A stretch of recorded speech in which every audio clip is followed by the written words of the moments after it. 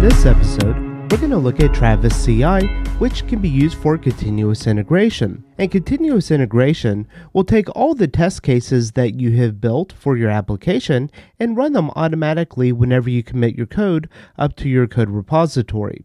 And continuous integration can do other things like prepare your application for deployment.